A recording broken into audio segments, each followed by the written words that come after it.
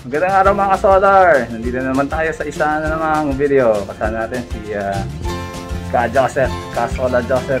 And uh, dito na naman tayo sa Pasig. Yan, kamusta na kayo dyan? Sana nasa mabuting kalagayan. At nandito na naman po kami. Tatapusin natin ang hybrid 5 kilowatt. Uh, lalagyan namin ng baterya ngayong araw na to. 4. Okay, so uh, nakikabit na natin yung casing niya. At uh, ngayon eh, ikinakabit natin yung BMS. Ayan. So ang ginawa po natin dito is uh, uh, 2P 16S. Bali, dalawang parallel at uh, 16 na series. Meron po tayong gamit na BMS na sa taas. Yan ay 16S na BMS. 150 amps. Okay, so uh, importante po yung napaka-importante po yung BMS dahil uh, yan po yung magpo-protect sa inyong baterya. No? Huwag po kayong uh, uh, meron pong mga gumagamit ng LiPo4 na hindi po nagkakabit ng BMS. Napaka ano po yun delikado para sa inyong baterya dahil sensitibo po ang mga lithium sa overvolt over voltage saka uh, over discharge. Okay, so uh, ang ginamit nating baterya dito is uh, 150 ampere hour uh, per cell. And um, yan. Yung mga ganyang baterya po, pwedeng tumagal taon. And more. Kung uh, maayos po yung pagkaka uh, gamit sa kanya, pagkaka-install, mas matagal pa po yan sa 10 taon. So ayan, medyo natagalan po kami dito dahil inusog namin yung inverter dahil mas malaki po yung case na nakuha namin at uh, nag-ayos po kami ng mga moldings. So ayan po. Siguro po in uh, mga 2 to 3 hours pwede na kami makapag-test ulit. Ayan. So malapit na. Sasabihin ka pa. Sana, basta kung kailangan niya ng tulong, gusto niya magpakabit. Uh, Grace Light, Top Solar. Yan Yan. ang kailangan ninyo. laging in tandem po yan. Laging in tandem. Grace Light and Top Solar. Si Grace Light daw po magka, maggagawa na ng YouTube channel niya. Malapit na. So ayan, pakita natin. Ayan, kakabit tayo ng BMS. Ito po yung BMS na gamit natin. Dali BMS. Ayan.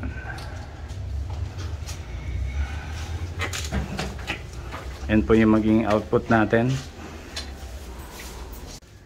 Okay guys, so uh, natapos namin yung uh, installation and uh, testing and um, nagka-problema kami with either the BMS or the inverter. So ngayon iti-test namin uh, magdadala kami ng ibang inverter dito probably next week. Uh, kung okay yung inverter uh, malamang yung BMS ang may problema so uh, yeah ganun talaga ganyan talaga pag uh, uh, sa installation syempre merong minsan hindi natatapos. Nagkakaproblema so uh, yeah right now yun ang scenario uh, ito na sana yung system. Andyan na yung battery. Tapos na sana tayo. Kaya lang uh, ganun talaga. Nagkakaproblema. Either yung uh, inverter ang may problema or yung uh, BMS ang may problema? Kasi um, uh, hindi natin masabi. Kailangan natin itest. So so yan muna mga solar si Kasola Joseph eh nagpipicture muna. Babalik po kami next week dito Yeah. sa Pasig. Balik ulit. uh, we'll try to fix this uh, system So yan. Pero ngayon, gumagana po siya as a grid tie system. Ah, so lahat po ng ah, load sa umaga ay napro-provide ni solar. So that's the ah, situation ngayon. So until the next video, please click subscribe. Um, like nyo na rin or dislike nyo dahil hindi naayos yung system. And uh, share. Okay, thank you. Ayun nga guys, so ang ang naging problema niya is um, pag connected si BMS, ang voltage na lang is around 11 volts. Tapos um, dinirect ko na siya, sinort ko na siya para makuha niya yung voltage ng battery. So, nakuha niya na. Nakuha niya yung 55 volts ng ah, battery. But then uh, nung tinetest na namin mga load test na nilagyan na namin ng load. Ah, nung nilagyan namin ng load mamayang konti after mga 30 minutes bumagsak na naman to 11 volts yung voltage niya. So ah, it's either imposible naman si battery yon so ah, it's either si BMS or si inverter ang nagka problema Ah, so ngayon tinetest namin. Since meron naman kaming ah, pang test na inverter babalik kami dito next week. And um, yun ang i-connect namin sa system.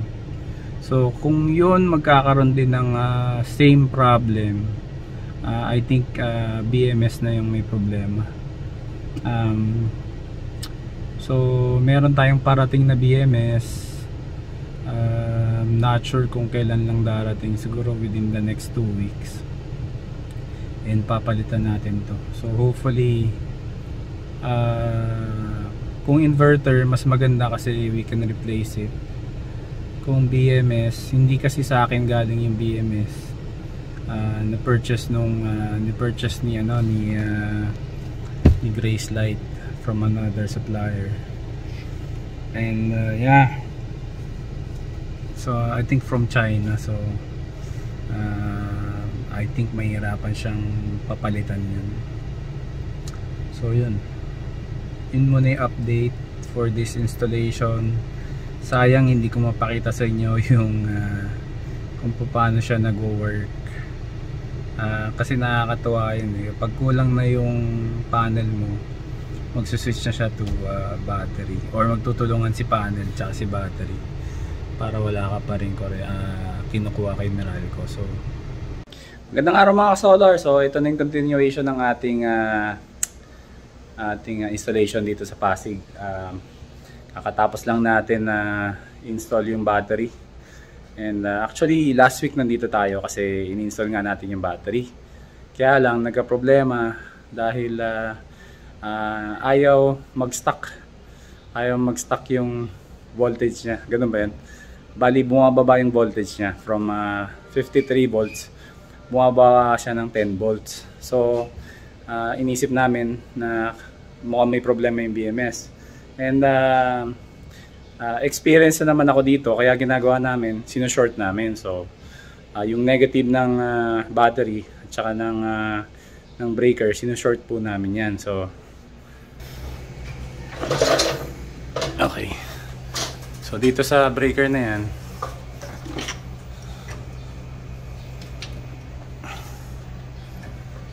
Okay. Whoa, whoa, whoa. Oh. So i-short po namin dito yan, no? Ayan po yung uh, EMS natin. So instead na dun dadaan sa BMS, iba-bypass natin ang BMS. So dito sa negative na to, i-short natin siya dito, i-bypass natin yung BMS. Kaya lang ang problema, uh, yung isang BMS na ginamit natin, yung isang BMS na ginamit natin, kahit ginawa na natin yon tumakbo siya ng mga 30 minutes. Tapos biglang bumagsak na naman sa 10 volts. So uh, medyo nahirapan tayo doon. Um, so pinatay muna natin. Tapos um, uh, nagpahinga muna tayo kasi medyo gabi na yan. So ngayon bumalik tayo today and uh, may dala tayong bagong BMS.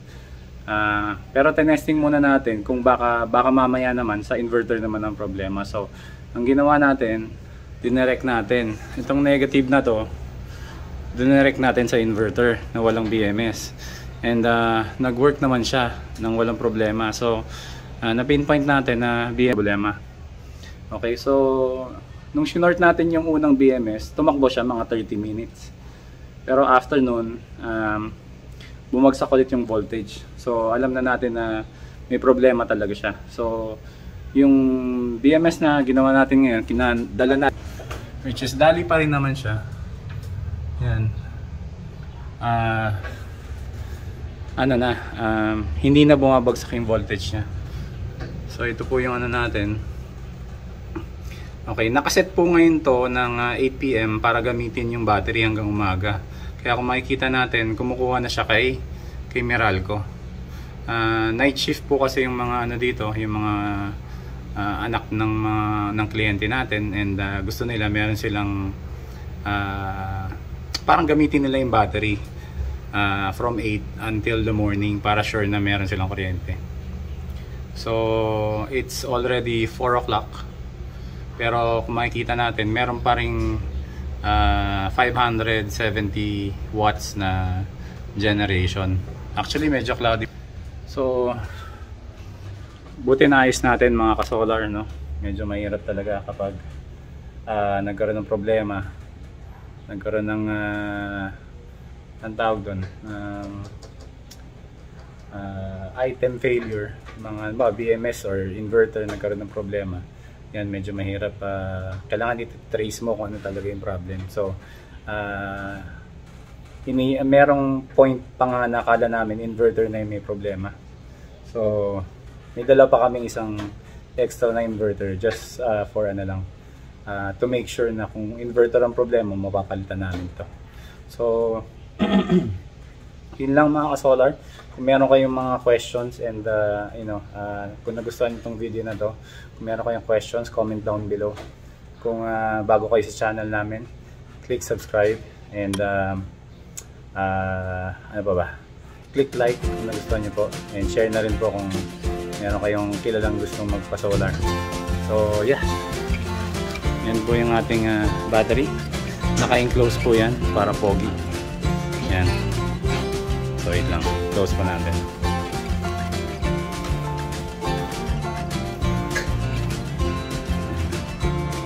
Ito po ang casing na to eh, nabibili sa mga electrical shop. Dito natin lagay para mabilis na makita.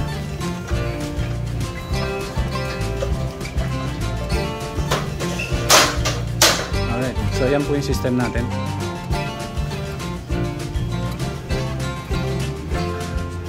Day inverter, LiPo for battery, mga sa- mga safety breakers na po and uh, mga SPDs. Ah. That's it mga solar. Maraming salamat. 2,160 na po tayo. And uh, next video, promise, next video na po.